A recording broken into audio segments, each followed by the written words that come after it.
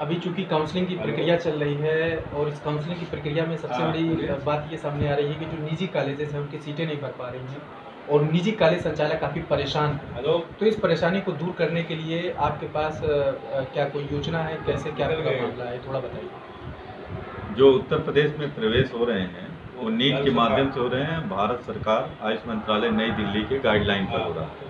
आज इस पे केस लगा था जिसे दो नवंबर को फिर सुनवाई है।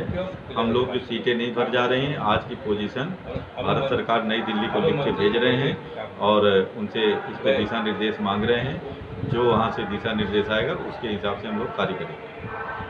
सर क्या 2017 में भी ऐसा था कुछ? नहीं 2017 में ऐसा कुछ नहीं था। नीट के द्वारा ही पहली बार जो है पूरे भारत में प्रवेश हो रहे हैं। इसके पहले प्रत्येक राज्य अपने स्तर पर कंपटीशन कराता था और उसे छात्रों को चयन करता था। तो इस बार जो प्रक्रिया है वो सत्रह के अपोजिट चेंज है। सत्रह के अपोजिट नहीं चेंज है।